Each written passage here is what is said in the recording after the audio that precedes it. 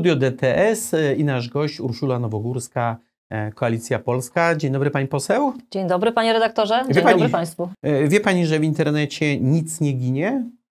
Dlatego internet mówią, że jest takimi niezapomnianymi czeluściami, szerokimi, e, gdzie w zasadzie wszystko można znaleźć. No więc według... Nie za... jestem zaskoczona. Nie jest Pani zaskoczona? Nie. Ja jestem. Według zasobów internetowych jest Pani najbardziej wpływową kobietą w Małopolsce. Wow, chyba się czerwienie. Co Pani na to? Nie, to zaskoczenie, ale jakie były kryteria, bo, bo jeszcze to trzeba przeanalizować. E, nie uważam się za kobietę wpływową w Małopolsce, uważam się za kobietę skuteczną, e, która słucha ludzi mhm. i pomaga ludziom. A jeżeli takie kryteria były wzięte pod uwagę, to, to dziękuję. Pani poseł, zbliża się, mm, zbliżają się wybory. E, ja nie umiem ocenić, czy już się zaczęła kampania wyborcza, czy nie, ale jeśli pani jest skuteczna, e, wielu polityków obiecuje. Czy pani też obieca nam, że pani wybuduje sądeczankę? Znaczy, ja nie wiem, czy, czy przed wyborami jeszcze pani zdąży, ale ale jest teraz taki trend. Wszyscy budują sądeczankę. E, powiem tak, e, w, w, życiu publicznym można powiedzieć e, na początku samorządowym e, swoje życie e, rozpoczęłam w 2006 roku. To jest takie moje życie polityczne, początek życia politycznego. E, I od tej pory mam żelazną zasadę. Słucham ludzi i staram się realizować te założenia, których rzeczywiście ludzie potrzebują. Nie których oczekują, tylko których potrzebują. Czy obiecam? Na pewno obiecam rzetelną pracę, tak jak zawsze obiecuję. I wydaje mi się, że skoro taka była rekomendacja na początku tego programu, to chyba mówię prawdę. Ja, ja, ja wyjaśniam, kiedy pani była najbardziej wpływową kobietą w Małopolsce. E, pani pamięta? Domyśla się pani? Pewnie za czasów, e, kiedy byłam e, w Sejmiku Województwa Małopolskiego, tak? No ale co to za zdanie? Kiedy byłam w, w, w, w Sejmiku Ma Małopolskim, pani była szefową tego Sejmiku. Tak, no ale jestem skromną osobą, panie redaktorze. To też taka trochę moja zaleta. Mhm. Pani poseł, czyja jest polska wieś? Polskiego. Ja panią przedstawiłem jako posła Koalicji Polskiej, ale pani partia to Polskie Stronnictwo Ludowe. Do kogo należy polska wieś w tej chwili? Polska wieś powinna być obywateli i rolników, a nie polityków, panie redaktorze. E, I dlatego wszyscy ci, którzy mówią, że tak bardzo dbają o wieś, to niech dadzą namacalne dowody, a nie tylko opierają się i poprzestają na słowach. Mhm. No ale, ale jeśli poprzełączamy troszkę pilotem telewizora, to na każdym kanale znajdzie się jakiś polityk, który mówi, że zrobił najwięcej dla polskiej wsi. Polskie Stronnictwo Ludowe nie jest już partią wsi? Polskie Stronnictwo Ludowe, mając 128 lat, panie redaktorze, e, zawsze było i nigdy się nie wyparło polskiej wsi. Nigdy. E, I wszystkie nawet nasze działania, nie tylko polityczne, ale generalnie wszystkie działania samorządowe zmierzają do rozwoju naszych lokalnych, małych ojczyzn, a nasze małe ojczyzny to są wsie, małe miasteczka, więc jesteśmy zawsze blisko wsi i blisko ludzi. I to jest e, nasz e, główny, e, nasze główne założenie od zawsze. Mhm. Nic nowego tutaj, że tak powiem, się nie zdarzyło, żeby było inaczej. Według sondaży największym poparciem w tej chwili na wsi polskiej cieszy się partia rządząca. No, szczególnie jak wprowadza takie rozwiązania, gdzie trzeba rejestrować kury. To rzeczywiście cieszy się dużym poparciem. Właśnie dzisiaj miałam opinię e, przypadkowo spotkanych ludzi w drodze do pracy, E, I powiem szczerze, chyba pochlebne nie były, więc to chyba nie do końca jest tak, jak pan mówi. Pani hoduje kury? E, ja nie, ale moja mama tak. I co pani mama sądzi o e, obowiązku rejestracji kur? Przede wszystkim powiedziała coś takiego, że do gospodarstwa i do talerza nie powinno się zaglądać i ja się tego trzymam. Mhm. No ale, ale ktoś te kury każe rejestrować, to nie polski no tak, ale, no tak, ale to panie redaktorze, to ta ustawa była dostosowaniem do e, unijnej dyrektywy, a nadinterpretacja sprawiła, że właśnie pojawiają się takie wątpliwości, kuriozalne zresztą. Nie można e, pisać prawa takiego samego dla hodowców i takiego samego dla gospodarstw domowych, bo to się zupełnie mija z celem. Hmm, wejdzie, wejdzie to prawo w życie? No nie wejdzie, bo ja dzisiaj napisałam bardzo poważne pismo e, do Ministerstwa Rolnictwa z prośbą o sprostowanie tego i nie wchodzenie w tego typu tematy, bo to ludzi w dobry nastrój e, nie wprowadza. I tym zdaniem pani e, udowodniła, czy potwierdziła naszą tezę, że jest pani już nawet nie najbardziej wpływową kobietą w Małopolsce, tylko najbardziej wpływową kobietą polskiej polityki. Myślałam, prawo, że o, prawo o rejestracji kur nie wejdzie, bo pani napisała rano pismo. Trzeba być skutecznym. Tak? I tak będzie? To oczywiście. Dobrze, pani już wie E, pani jest za tym, żeby w najbliższych wyborach opozycja startowała z jednej, e, kilku list?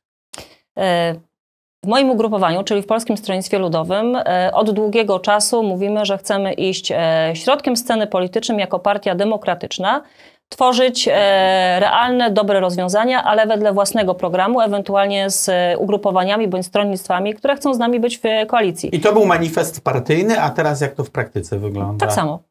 Dokładnie tak samo. Idziemy swoją listą, ewentualnie zapraszamy koalicjantów, którzy myślą podobnie jak my, którzy chcą e, realizować podobny program, program do naszego, więc e, tu się nic nie zmieni. Idziemy swoją listą, czyli z koalicjantami. E, idziemy swoją listą, swoim programem, który jest akceptowany, koalicjantów. Tak jest, który jest akceptowany przez koalicjantów. Czyli tak kogo? No, na przykład ostatnio y, słyszeliście o Szymonie Hołowni, na przykład. Mhm. Ale na razie li, liderzy tych dwóch ugrupowań, pani, pani e, prezes partii Władysław Kosiniak-Kamysz i Szymon Hołownia powiedzieli, że na razie stworzyli listę wspólnych spraw. A lista wspólnych spraw nie jest jeszcze listą wyborczą. Bo to jest, panie redaktorze, pan chyba jest żonaty. To jest tak jak w okresie narzeczeństwa. Najpierw trzeba się obejrzeć, najpierw trzeba ze sobą często porozmawiać, pewne rzeczy ustalić, a jak się dogadamy, to wtedy gadamy o małżeństwie. I tu będzie podobnie. Mhm. E, teraz cała Polska będzie panią łapała za, e, za słowo, czy e, Władysław Kosiniak-Kamysz przekazał Szymonowi Hołowni pierścionek zaręczynowy, tylko myśmy tego nie widzieli? E, kiedyś w swojej wypowiedzi, pewnie jak pan oglądał moje wypowiedzi w internecie, to pewnie pan spotkał taką jedną, moją bardzo znaczącą wypowiedź. Jak kiedyś e, niektórzy politycy chcieli mnie przeciągnąć na drugą stronę sceny politycznej, a ja powiedziałam coś takiego, że e, zalotów, zalotów, moment, zalotów nie przyjmuję, zaręczyn nie będzie, a o zamążpójściu mowy nie ma. I tu jest podobnie. Y, pierścionek został przekazany? No mnie nie został, bo go nie przyjęłam. A jak Kosiniak będzie... kamysz do Hołowni. No to się okaże. To Czy się struktury oka... nasze zaakceptują, bo, że tak bo, powiem, bo te wiem, rozwiązania? że kiedyś panowie wspólnie po, powiedzieli, że wspólnie mają jakieś córki i to, to, to, to, to też e, poszło w świat. E, dobrze, wyobraźmy sobie wspólną listę mm, e, partii Szymona Hołowni i PSL-u. Jakby ona wyglądała, jeśli chodzi o nazwiska w naszym okręgu wyborczym? Trudne pytanie. Trudne pytanie. E, no bo to... Ale nie, trudne, ale nie dla pani. Dlaczego? Bo ja myślę, że pani zna odpowiedź. Czy znam odpowiedź? E, wydaje mi się, że nie, dlatego że e, no, jeżeli się z kimś na coś umawia, to ustala się też jakieś konkretne warunki. Tych warunków póki co nie ma, w związku z czym nie wiem, jaki będzie kształt listy. Ale pani wie, że jakieś um, e, wspólne sprawy są dogadane, gdzieś są jakieś rozbieżności e, i że to wcześniej czy później zakończy się wspólną listą. Na pewno, e, na pewno sprawy związane z bezpieczeństwem Polski, na pewno sprawy związane z przynależnością do Unii Europejskiej, do struktur NATO, na pewno sprawy zdrowia, szkolnictwa, edukacji, bezpieczeństwa społecznego, tego socjalnego również dla nas są bardzo ważne i nas łączą.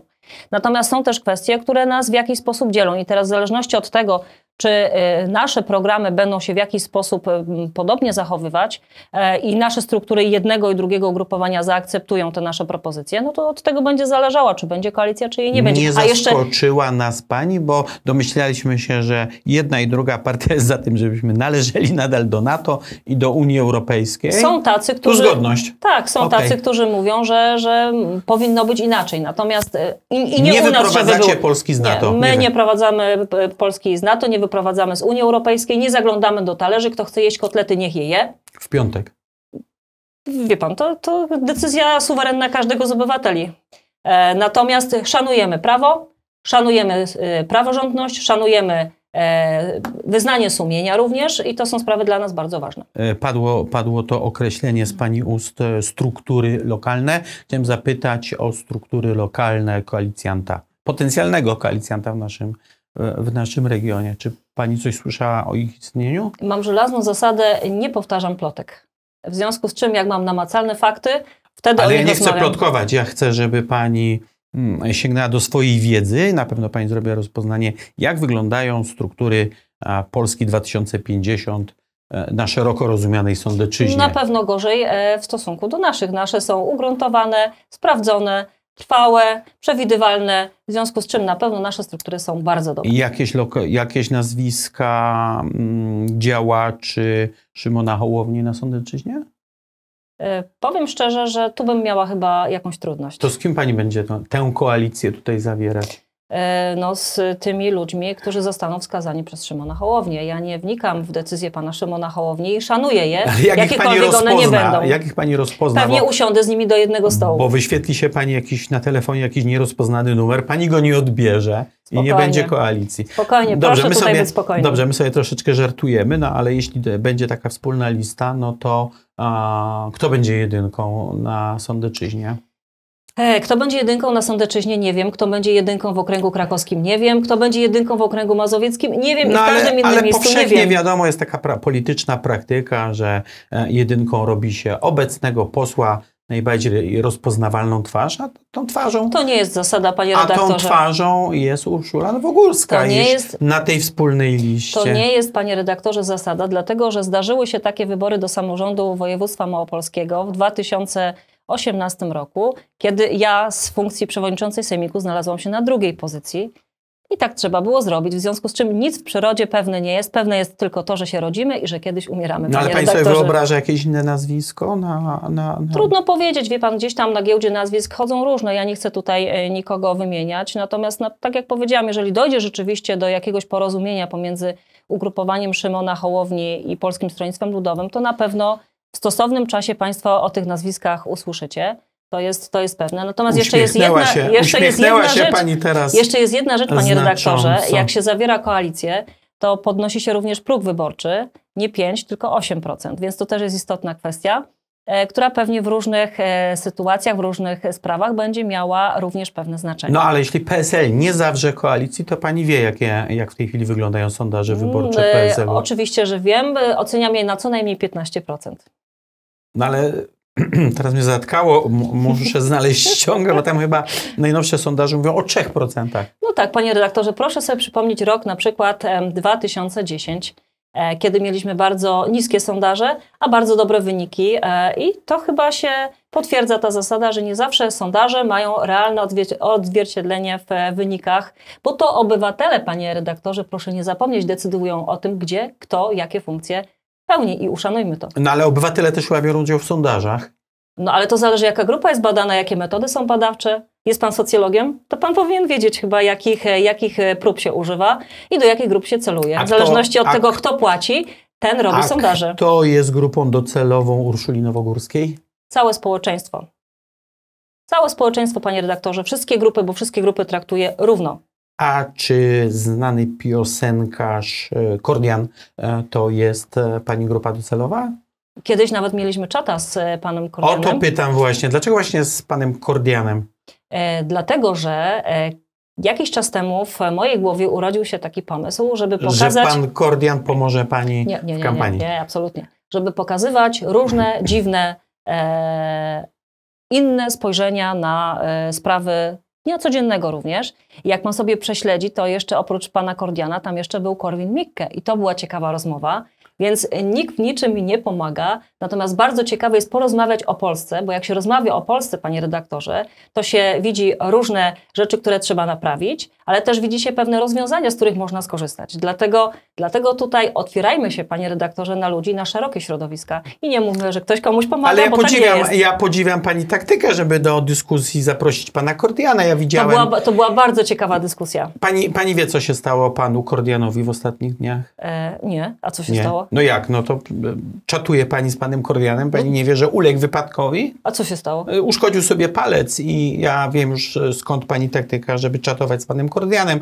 Z powodu jego palca widziałem 8 tysięcy wyświetleń osób, które chciały przeczytać, co się stało z palcem pana No bo, no, bo, no bo tak naprawdę każdego, jakby panu, panie redaktorze, coś się stało z palcem, też by czytelnicy Na DTS-u przeczytali, na co się z panem dzieje. 8 tysięcy osób w ciągu minuty. E, Pan Kordian z, z, Ale wszystko w porządku? z kontuzjowanym palcem nie będzie za panią mógł podnieść tej ręki. Oj tam, oj tam, niech pan za pana Kordiana się nie wypowiadał, pan Kordian swoje zdanie na pewno ma. Posłanka Urszula Nowogórska, Koalicja Polska, Polskie Stronnictwo Ludowe. Bardzo dziękuję, dziękuję. bardzo. Dziękuję bardzo, pozdrawiam państwa bardzo, bardzo serdecznie.